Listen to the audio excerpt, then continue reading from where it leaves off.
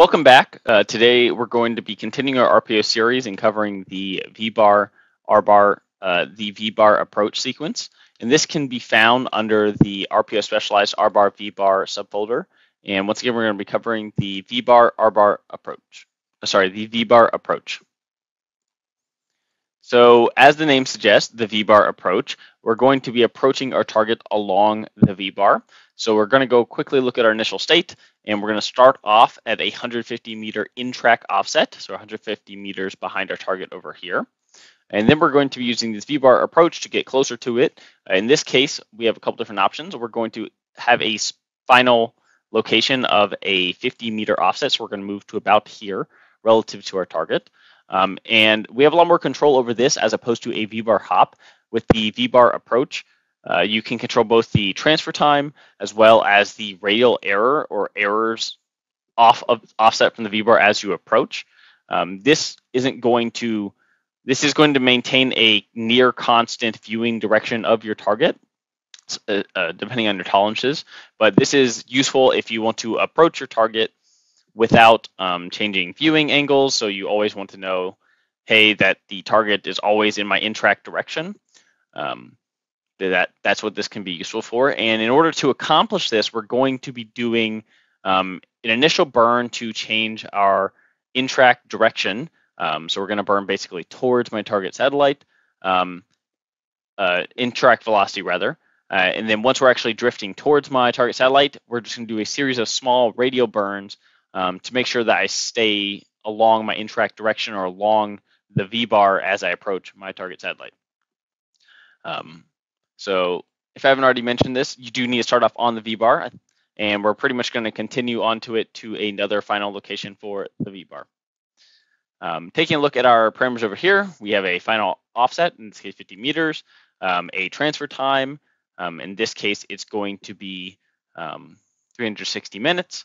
How much is my max radial error over here? Um, so that transfer time is going to be basically dictate my initial burn um, to go towards my target. Uh, these radial errors and radial error rates are going to determine how many small little radial maneuvers I need to do in order to stop. What engine model would I like to use?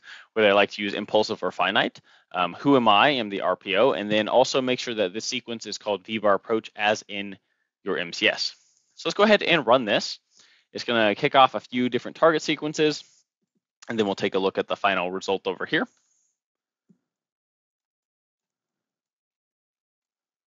So here we go. You can see my RPO actually goes towards my target satellite.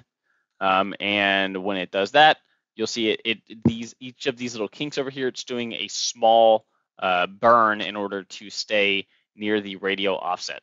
Um, if I didn't, um, basically it would do something more similar to a V-bar hop. Uh, but that's what we're doing. We're doing a series of small burns to maintain a near constant uh, direction. And if I were to like change this and maybe change my um, error to be half a meter or something like that. Um, it'll rerun, reconverge, um, and then I will just basically have a couple smaller, um, couple more burns um, as I drift towards this target satellite. And this is again useful if you want to have a near constant viewing direction of your target.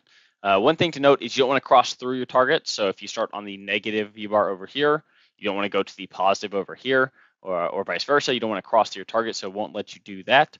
Um, but taking a look at this particular sequence,